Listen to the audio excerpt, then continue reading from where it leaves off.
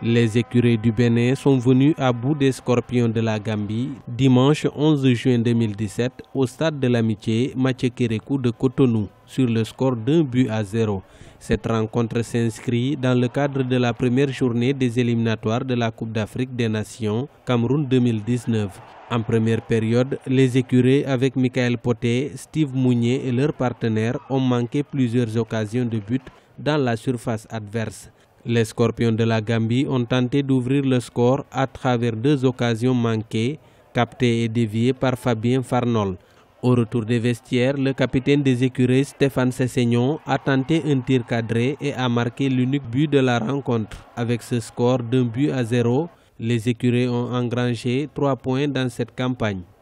Je pense euh, quand même que c'est bien pour le moral, les trois points, parce que on a quand même senti dans la, à l'ouverture de cette journée hier également euh, que des grands comme le Nigeria, la Côte d'Ivoire et plusieurs autres pays à domicile ont perdu. Environ 3000 supporters étaient au rendez-vous pour pousser le 11 national béninois à la victoire. Malgré ces résultats des poulains d'Omar Chomogo, le public sportif formule plusieurs attentes. Pour cette première journée livrée par les écreuilleurs du Bénin, on a senti que certes le Bénin a gagné, mais il y aura de l'amélioration dans, dans le jeu puisque nous avons vu au niveau par exemple de l'attaque, l'attaquant Steve Mounier n'a pas été tellement nourri. Donc euh, le milieu aussi est distant de cette attaque. Les Béninois ont montré de quoi ils sont capables. Et je voudrais remercier vraiment le gouvernement qui a compris que le football, ce n'est pas de la politique. Donc euh, il faut qu'on laisse vraiment ceux qui doivent jouer, jouer.